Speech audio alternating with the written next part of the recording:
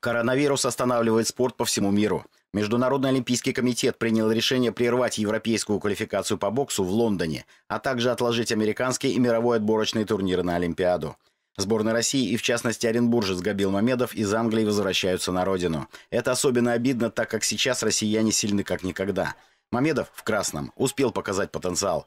Он выступал в весовой категории до 63 килограмм. В первом отборочном бою ему противостоял Лаша Гурули – по первому впечатлению, устрашающего вида грузинский боксер выглядел фаворитом, но класс россиянина оказался гораздо выше.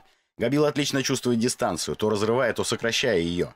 Наносит град разнообразных ударов и строго действует в защите. Гурули так и не смог найти контраргументов. С каждым раундом преимущество Мамедова росло, и в итоге все пять судей присудили ему победу. Со счетом 30-27 рефери из Алжира, Казахстана, Марокко и Кореи и американец 29-28. Мамедов вышел в одну восьмую финала, где должен был боксировать с очень серьезным соперником – Аганесом Бачковым из Армении. Габил – серебряный призер чемпионата Европы 17-го и Европейских игр прошлого года. Бачков – победитель этих же турниров. Так что поединок ожидался интереснейшим. Победа гарантировала олимпийскую лицензию, и тут соревнования закрылись. Боксеры прошли долгую и тяжелую подготовку, чтобы показать достойные результаты, но всем приходится смириться с ситуацией. В ближайшие дни россияне должны вернуться домой и пройти карантин. Из Чувашии с медалями. Оренбургские легкоатлеты показали высокие результаты на Кубке России среди спортсменов с поражением опорно-двигательного аппарата. Соревнования в Новочебоксарске собрали более 300 спортсменов из различных регионов страны. Оренбуржцы традиционно входят в число всероссийских лидеров. К авторитетам прибавляются новые имена. Чуть ранее в Челябинске на всероссийском турнире среди слепых и слабовидящих спортсменов победителем в беге на дистанции 60 метров стал оренбуржец Андрей Дикарев – Андрей занимается легкой атлетикой не так давно, но уже добежал до золотой медали, победив гораздо более опытных соперников. А ведь у него всего 2% зрения. Я как-то стал серьезнее относиться к соревнованиям. Вот, уже стал вообще видеть, понимать дистанции, как сказать. Знаю, что нужно делать, как бежать, когда останавливаться.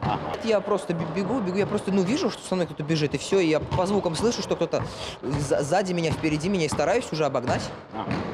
Сейчас в Чувашии оренбуржцы взяли не количеством, а качеством. Наши земляки на четверых завоевали 8 наград.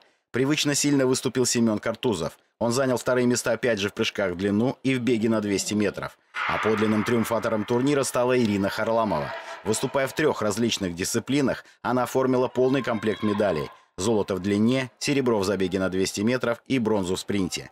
Причем в прыжках ей чуть-чуть не хватило для выполнения норматива мастера спорта – Год назад в Чувашии Харламова показала 3 метра 64 сантиметра. Сейчас 3,73, а мастерский результат 3,80. Думается, он не за горами. Когда ехала, я прям волновалась, а на соревнованиях волнение просто как в пусту куда-то уходит. Среди моего класса я выиграла 3,73, прыгнула. Я, я думаю, что это лучший мой результат за, послед... Э, за те времена, которые были. Я стремлюсь мастер спорта, я уверена, что я добьюсь прям. Наши признанные лидеры, двоечленных паралимпийской сборной России, Неделька с Избасаровым, продолжают подготовку к играм в Токио, и их пик формы подводится к лету. Но даже выступая из-под нагрузки, подтверждают класс в профильных прыжках в длину. Александра стала вице-чемпионкой, Диаз взял золото и попутно серебро в прыжках в высоту. Под нагрузками мы выступали, но тем не менее результаты хорошие показали. Вот, а немного не хватило до рекорда России, ну, своего же. Но я считаю, если мы подвелись бы к этим соревнованиям, то есть нормально, а, показали бы еще выше результат. Я в области выступал по здоровым, тоже выиграл. А, на 60 отличный рекорд поставил спустя 4 года.